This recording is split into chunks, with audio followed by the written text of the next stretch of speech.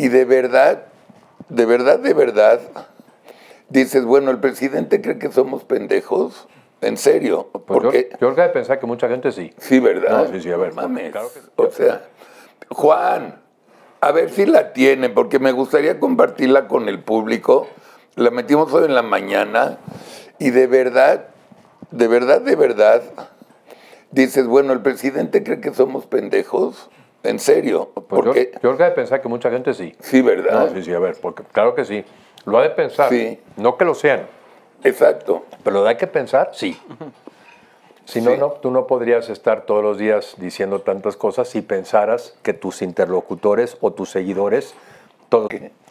Sí, que bueno, que a mí me parece que ya a estas alturas eh, debería uno de, pues ni modo, aprender que el gobierno miente en la mayoría de sus argumentos.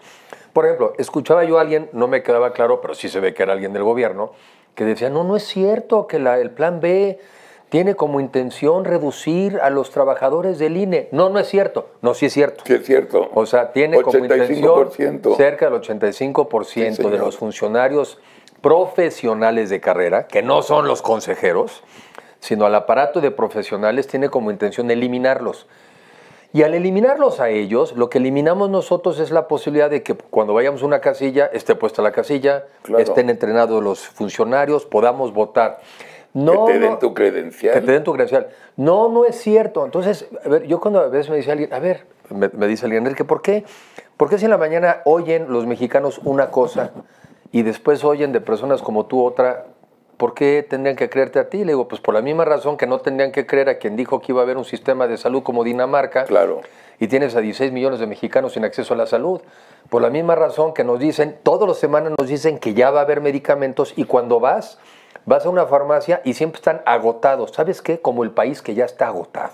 Sí. El país ya también está agotado como las farmacias. Entonces, todos los días, al final del día, el gobierno usa una serie de argumentos maliciosos, este, tendenciosos, para, para, para polarizarnos y al final ya para desacreditar, cuando qué tanto más interesante sería si, desa- si nos desacreditáramos, pero en una discusión, ¿no? Uno a uno, con argumentos. No desacreditando a la persona, sino poniendo en conflicto las ideas. Entonces, bueno, Ahí está el video. Vean el video de la mañanera, por favor.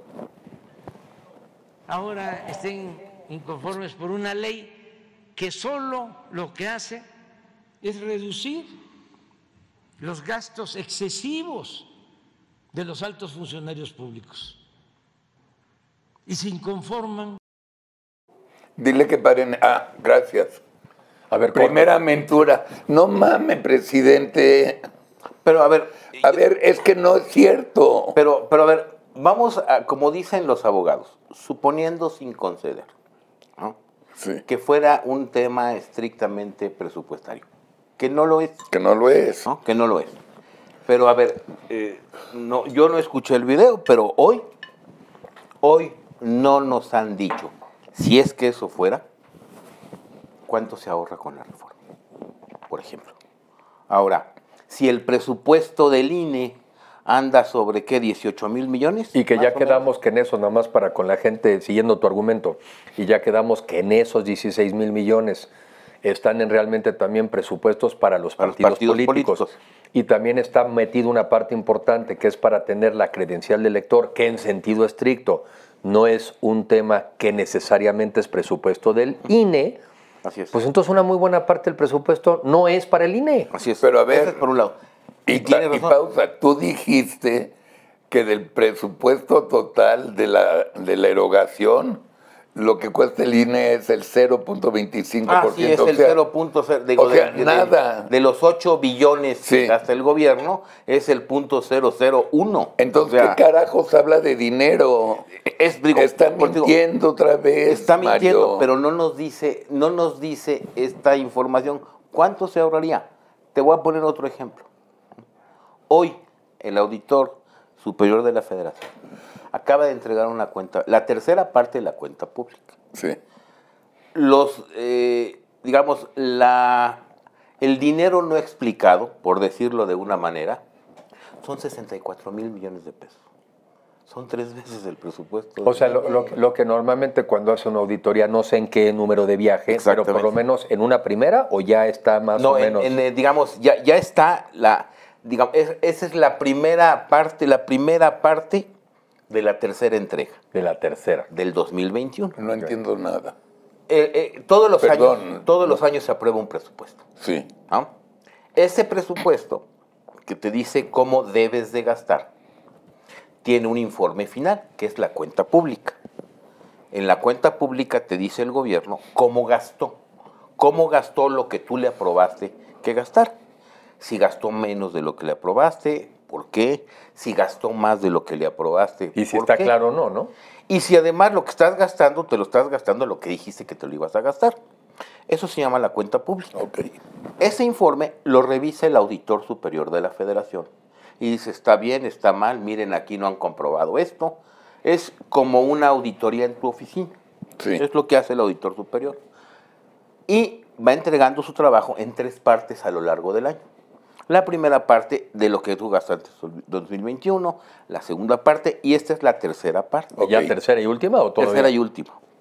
En la tercera parte, encontró, encontró y hoy reportó que hay gastos sin explicar o sin justificar por 64 mil millones. O sea, equivalente, nomás para ponerlo en proporción, equivalente, no sabe explicar el gobierno el equivalente a cuatro veces el presupuesto del INE. Exactamente. O sea, cuatro veces el Cuatro presupuesto del- veces. A cuatro veces. para ponerlo en INES. Y- y- ¿no? Y ha tirado a la Y- y basura. ¿sabes Ponerlo qué? en INES. A muchas veces más lo que se pretenden ahorrar, por ejemplo. Y la otra que yo, tú- yo te he escuchado esta cifra que tú te la sabes mejor, pero lo digo con todo respeto. No tiene autoridad moral un gobierno que habla de austeridad cuando lleva dos años en donde Pemex ha perdido 800 mil millones de pesos. Sí. Tú nos dijiste aquí el otro día que antes refinar un barril de petróleo se perdía en México 4 dólares por barril de petróleo. Así es, Y hoy se pierden 35. exactamente. No tiene autoridad moral un gobierno que hace estas cosas para hablar del tema de austeridad. Yo sí le pido respetuosamente a los mexicanos, ya no caigan en esta boba- Ah, sí, babosada. lo- Digo, por Ahí hay más discurso, Ya ¿eh? no. no, no es un tema... No nos, mar- está no nos muy claro. martirices tampoco. No, no, es, es, que, que- es que hay otras cosas. O sea, capítulo 1 no es cierto, les mintió. Corre la rosca, porfa. Pero, repito, en el fondo es tener alguna excusa, algún pretexto para enfrentarnos. Entonces, Pausa, pausa. A ver, yo creo que sí hay un pretexto. Yo sí creo que es muy obvio. Estuve yo en Guadalajara el viernes y en una reunión de la Cámara de, de- de Comercio, un joven me pregunta, oiga, digo, es una pregunta por un lado interesante que te la hagan y por otro lado preocupante que te la hagan. ¿Qué, qué- realmente un poco cuál es el tema de la democracia en México? ¿Cuál sería la consecuencia de no tenerlo? ¿O por qué es importante la democracia? Yo lo primero, mi primera reflexión es que digo que la democracia es una forma de vida. Sí, claro. O sea, antes que un sistema electoral, es una forma de vivir. Es una forma de vivir a partir de la discusión, de la conversación de diferentes puntos de vista, de una sociedad que es plural, que pensamos diferente, pero nos tenemos que poner de acuerdo.